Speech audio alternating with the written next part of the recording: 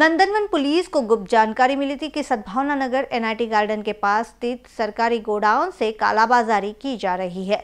इसी गुप्त जानकारी के आधार पर पुलिस ने कार्रवाई कर आरोपियों को हिरासत में लिया है। ऐसी जानकारी पुलिस उपनिरीक्षक जितेश अरवली द्वारा दी गई है। सरकार की ओर से गरीबों के लिए राशन की दुकानों पर पहुँचाए जा रहे गेहूँ और चावल की कालाबाजारी करने जा रहे आरोपियों को पुलिस ने हिरासत में लिया है। नागपुर के नंदनवन इलाके में पुलिस ने करीब 60 टन राशन जब्त किया है। पुलिस को नागपुर के सद्भावना नगर स्थित एनआईटी गार्डन के सामने गोदाम में सरकारी अनाज के अवैध भंडारण की सूचना मिली थी। जोन थ्री के पुलिस उपायुक्त की निगरानी में गोदाम पर छापामार कार्रवाई की गई इस कार्रवाई में गाड़ी क्रमांक एम एच उनपचास ए टी चौदह, सत्रह बोलेरो पिकअप गाड़ी।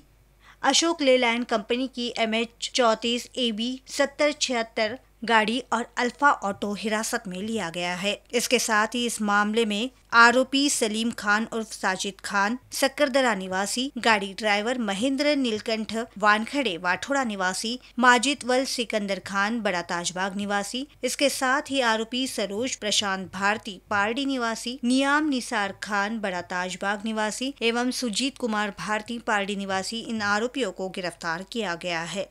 माननीय D C P zone three Gorakh Bhambre sir यांना गुप्त बातमीदारांकडून माहिती मिळाली की सद्भावना नगर येथील एन आय टी गार्डन येथे एका गोडाऊनमध्ये सरकारी अनाज हा आहे आणि ते तिथून वाहतूक होत आहे.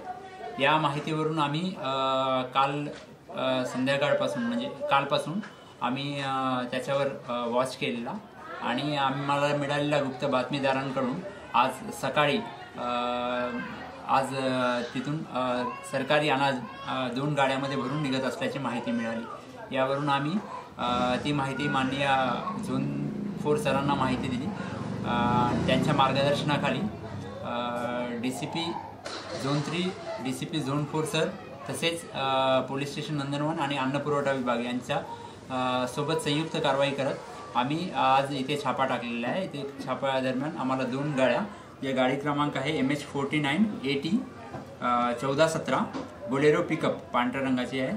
त्याच्यामध्ये जवळपास पंधरा बहात्तर पोते त्याच्यामध्ये माल तांदूळ मिळून आलेले आहे त्याच्यामध्ये अंदाजे चार टन माल असल्याचा तांदूळ असल्याचा सरकारी तांदूळ असल्याचा तिथे दिसून येत आहे. आणि तसेच दुसरी गाडी क्रमांक M H forty A B सत्तर शहात्तर अशोक लेलँडची.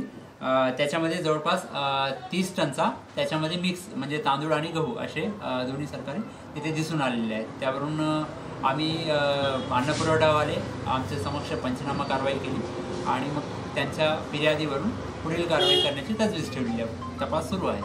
इस मामले में और भी आरोपी लिप्त होने की संभावना भी पुलिस द्वारा जताई गई है। मिली जानकारी के अनुसार आरोपी ये राशन अनाज पिछले कुछ समय से नागपुर शहर और ज़िले के अनाज व्यापारियों को बेच रहे थे। आरोपियों के पास से अनाज रखने या बेचने का लाइसेंस नहीं था, लेकिन फिर भी एपीएमसी कलमना में गेहूँ और चावल व्यापारियों को यह अनाज पहुँचाया जाता था। ऐसी जानकारी नंदनवन पुलिस थाने के पुलिस उप निरीक्षक जितेश अरवली द्वारा दी गई है। इस मामले की आगे की जाँच पुलिस कर रही है।